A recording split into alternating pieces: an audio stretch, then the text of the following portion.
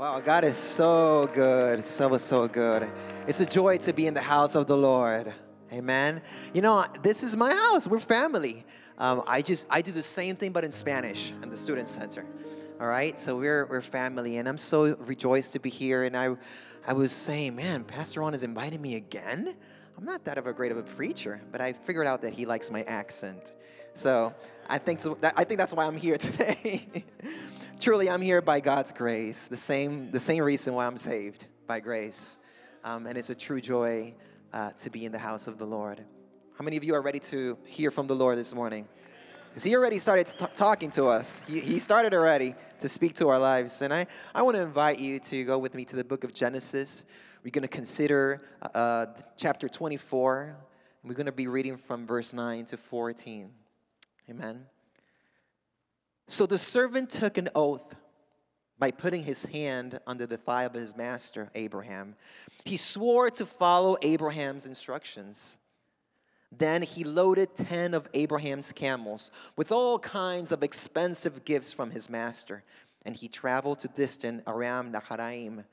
There he went to the town where Abraham's brother Nahor had settled he made the camels kneel beside a well just outside the town. It was evening, and the women were coming out to draw water. Oh Lord, God of my master Abraham, he prayed, please give me success today and show unfailing love to my master Abraham.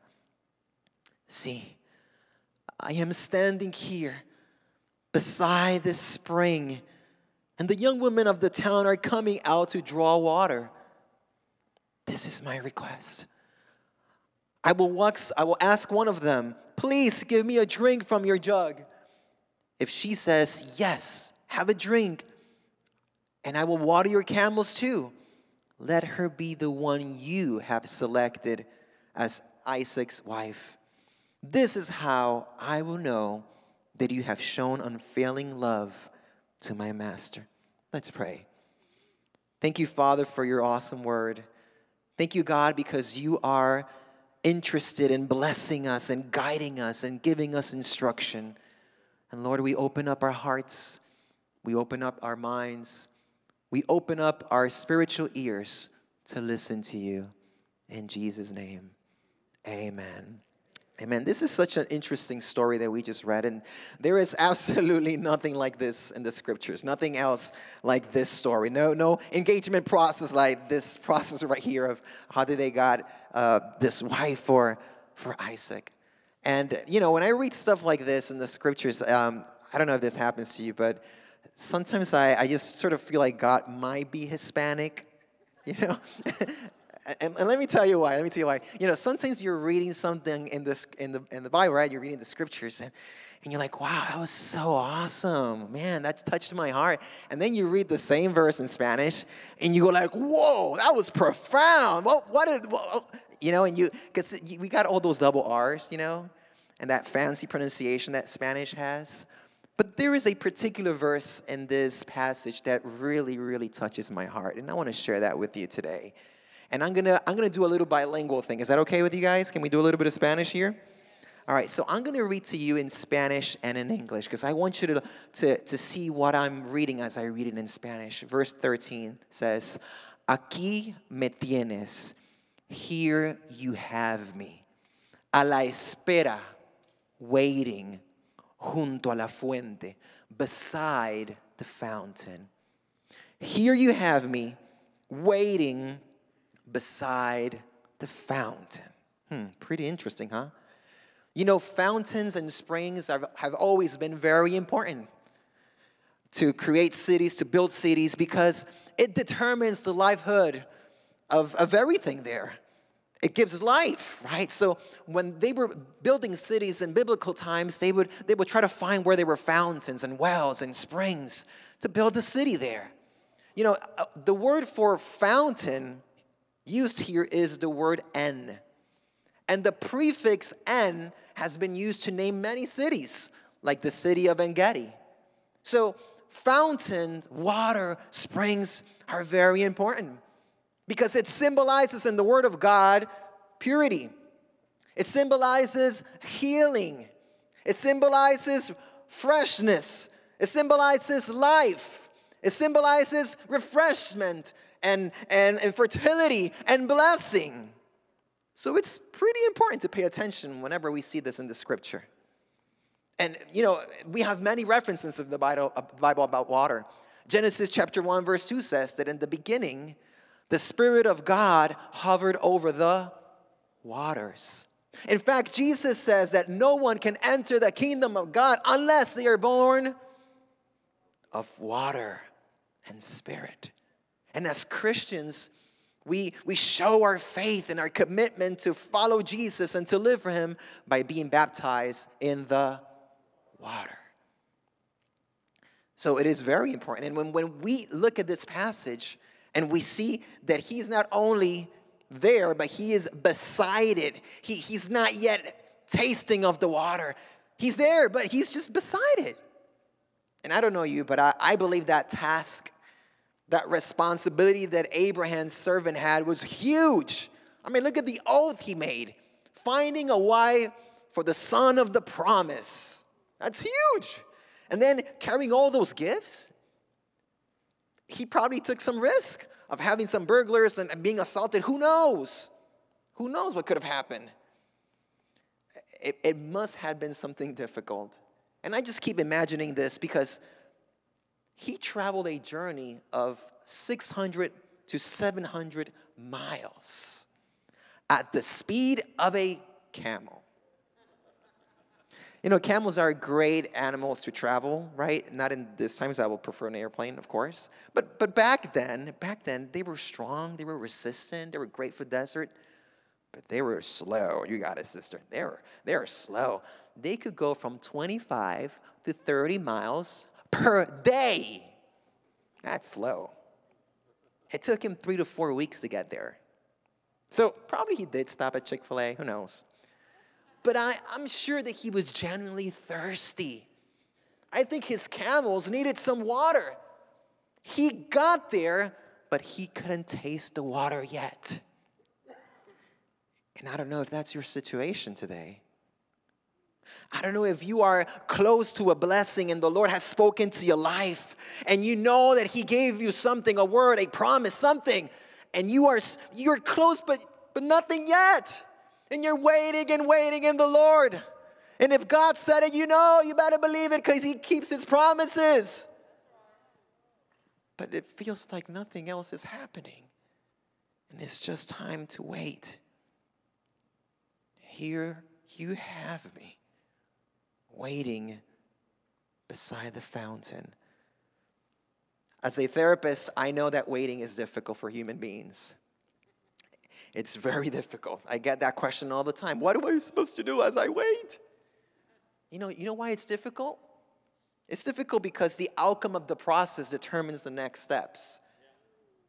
And, and if there's no process, you don't know where to go. You don't know what to do next. It's difficult. It's difficult because not knowing or not seeing what you've been waiting for gives us a sense of pause. And feeling stuck, it, it's, it's a little bit yucky at times. It makes us feel that we are in pause. We're like wondering, Lord, what's, what's going on? And also because humans crave um, assurance, we crave assurance. We want to know.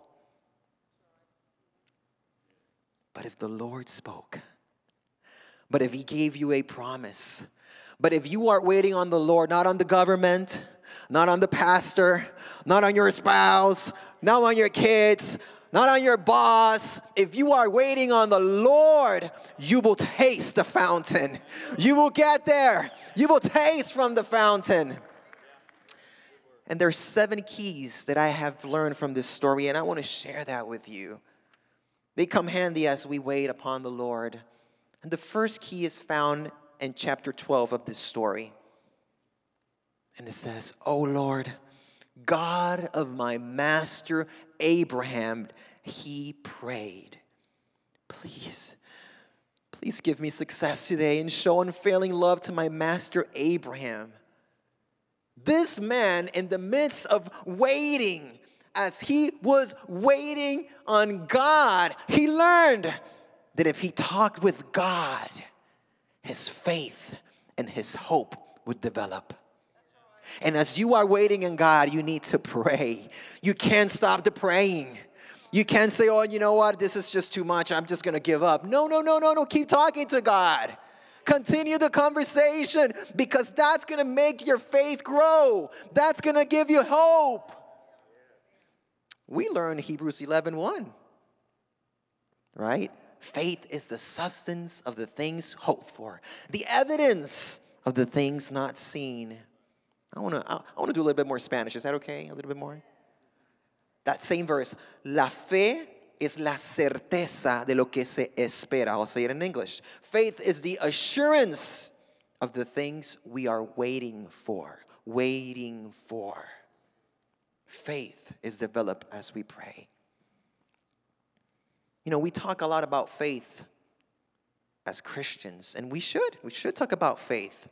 But hope is very important too. That's why First of Corinthians says that there is no greater thing than faith, hope, and love. Hope is very important. You know, the Spanish word for hope is esperanza. Have you heard that word before? Esperanza. It's a nice name, too, right? Esperanza, hope. And esperanza comes from the verb esperar, which means to wait. To wait. So if you look in Spanish for the word esperanza, you will find that it says to wait with optimism. Pretty cool, right? Do not wait with sadness. Wait with joy. Do not wait with resignation. Wait with positivism. Do not wait with defeat. Wait with faith. Do not wait with fear, but with confidence and peace, knowing that God is on your side. Hallelujah. Hallelujah. Go ahead, go ahead. Give the hand. Clapping for the Lord. Hallelujah. Hand offering. Jeremiah 29 11 says, For I know the plans I have for you, declares the Lord. Plans to prosper you and not to harm you plans to give you hope and a future. So as you are waiting on God, pray so you may develop your faith, your faith and your hope. Key number 2 is on verse 10 and 11. He took with him 10 of Abraham's camels loaded with samples of the best of everything his master owned and journeyed to Iraq to Nahor's village. There he made the camels kneel down outside the town to rest beside a spring. There are two things that the Lord wants you to do as you wait. The Lord wants you to cast your burdens and rest. You see, these camels were carrying a lot of weight for a long time. And perhaps you're doing the same thing. Perhaps you've been carrying with stuff for so long, and God is telling you today cast your burdens and rest and rest. Hallelujah, hallelujah, hallelujah. You know, sometimes as Christians we say, Yeah, I'm gonna, I trust the Lord, but I gotta, you know, because my, you know, my daughter is, a, it's, a, you know, she has some issues and, and I, I, I trust the Lord, but you know, I gotta, I gotta deal with all this stuff. And the Lord is asking us to cast our burdens, to trust Him on this. Hallelujah. And we come to church and Pastor Ron gives a great sermon and we go like, yeah, I'm going to trust you, Lord. And we, you know, we cast our cares around here somewhere. And then the service is over and we go like, oh, yeah, yeah, yeah, because I got to take this back home. Because, you know, last time I, you know, I was on my, I've been living from paycheck to paycheck. It was supposed to be from glory to glory, right? But and we take our burdens back home. This man didn't lay two camels or, or seven, he laid his 10 camels that were carrying a lot of stuff and made them rest. What are the things that you have to rest in the Lord? What are the areas of your life that you've been trying on your own strength? I love this psalm, Psalm 55 22. Give your burdens to the Lord, and He will take care of you. He will not permit the godly to slip and fall. The Lord is asking you to cast your burdens and rest in Him. So speak to your soul and, and say, Cast your burdens, rest in God's faithfulness. Here you have me, waiting beside the fountain. Church, as you wait, pray. Church, as you wait, cast your burdens and rest. There's a third key that I want to share with you. And this one is found in verse 11, the same one. There he made the camels kneel down outside the town to rest beside a spring. Among the gifts he made many, he had many jewels and valuable clothing. He made the camels kneel down. And that talks to me about humbling ourselves before God. If you are waiting on God, it's a good moment to humble yourself before the Lord. It's a good time to search to see if there's any wicked ways within you. It's a good time to see if there's anything that smells like pride. Oh, I got this, yeah, my ministry, my talent, and my, you know, I got a raise and I have a bonus and I don't know what. Is there any attitudes is there any way that we're talking to the people we supervise at work or the people that work with us or our spouses or children? And we being prideful? God is asking us to humble ourselves. Verse 52 in that same story says, When Abraham's servant heard these words, he knelt down before the Lord until his forehead touched the ground. If you are waiting upon the Lord, humble yourself. Every day if necessary.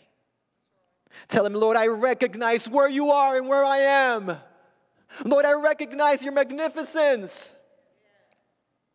First of Peter chapter 5 verse 6 and 7 says, "Humble yourselves therefore under God's mighty hand that he may lift you up in due time." Cast all your anxiety on Him because He cares for you. Church, He cares for you. He knows what you're going through.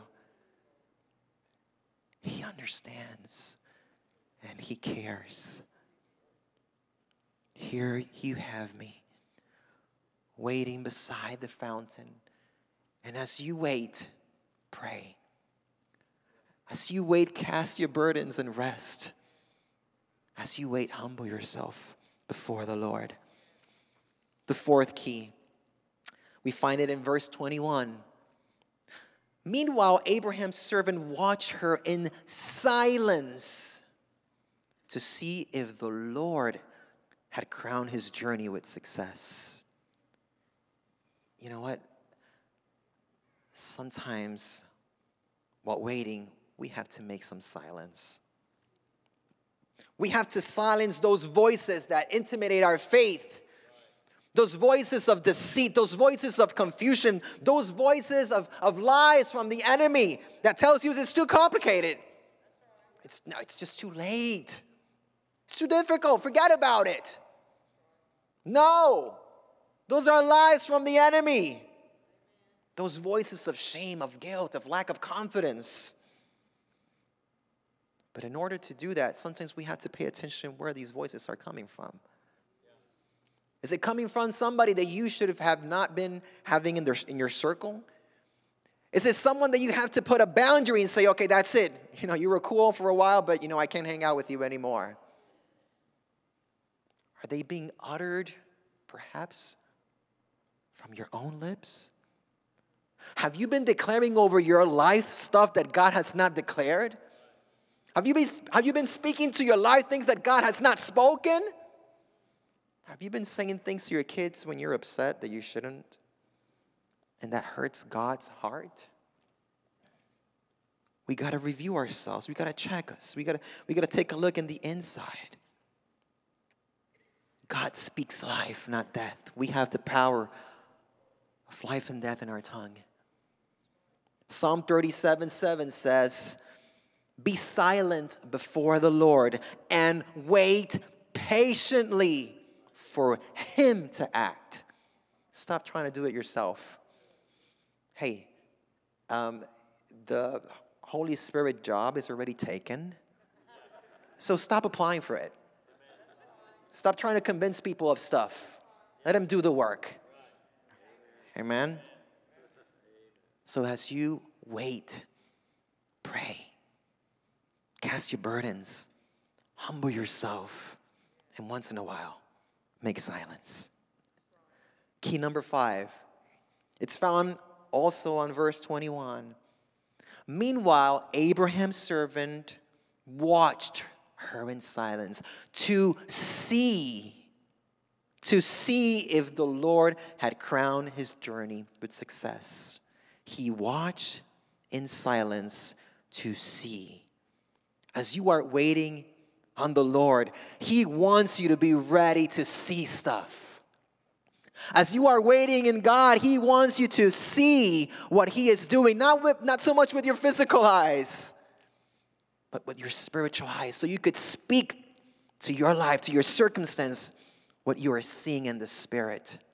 You see, that's why we need to pray.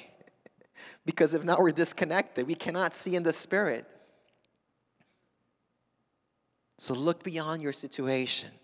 See what God is doing and listen to what He is saying because God is always speaking. We just need to tune our ears to what He is saying and to His frequency. Psalm 85 8. I will listen carefully to what God the Lord is saying for he speaks peace to his faithful people. God speaks peace to your life at this moment. Can you receive it? He is speaking peace to you at this time. Hallelujah. Hallelujah. God, speak to us. God wants you to know that He speaks a word of peace to your soul. Here you have me waiting beside the fountain. Don't forget to pray. Don't forget to cast your burdens and rest. Humble yourself. Make silence if it's necessary. See and listen to what God is doing because it's something beautiful. There's another key that I want to share with you. Key number six. And this key is found on verse 54. They already spoke to Rebecca and to her family. They're in the house already. Look what it says. Then they ate their meal, and the servant and the man with him stayed there overnight. But early the next morning, Abraham's servant said, Send me back to my master. But we want Rebecca to stay with us at least 10 days. Her brother and her mother said, Then she can go. But he said, Don't delay me. The Lord has made my mission successful. Now send me back so I can return to my master. Hey, this guy traveled for three to four weeks. I mean, 10 days would have come handy. Why not? Right? Let me tell you something. When you're waiting on God, He renews your strength. He gives you new strength. He gives you new power. Hallelujah. So as you wait on the Lord, receive new strengths from God. Receive new strength from the Lord. Hallelujah. If you're feeling tired, if you're feeling overwhelmed, or if simply if you feel like this waiting has taken forever, be assured that God gives you new strength. God gives you new strength. Isaiah 40, 30 to 31 says, Young men get tired and need to rest. Even young boys stumble and fall. But those who wait upon the Lord will become strong again. They will soar on wings like eagles. They will run and not get weak. They will walk and not get tired. He gives you new strength. Here you have me, waiting beside the fountain. So let's pray.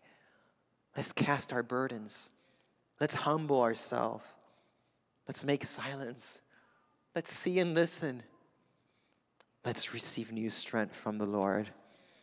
And the last key that I want to share with you, it's found on verse 26 and verse 27. The man bowed low and worshiped the Lord. Praise the Lord, the God of my master Abraham, he said. The Lord has shown unfailing love and faithfulness to my master, for he has led me straight to my master's relatives. In your waiting time, be grateful and worship. Be grateful and worship. You know, the choir sounds beautiful. The worshipers, they inspire us when they sing, right? It's just so beautiful. But sometimes they come up here with brokenness. Sometimes they, they step up here and, and they're all, you know, excited and all that stuff, but sometimes they go through rough stuff, just like you. But He continues to be holy. He continues to be worthy so even though you're waiting and even though you're so close and you, you just can't grasp it yet, still be grateful and worship Him. Thank Him because He sustains you. Thank Him because He's doing stuff right now, right here. Thank Him because He has provided. Thank Him because He, he keeps His promises.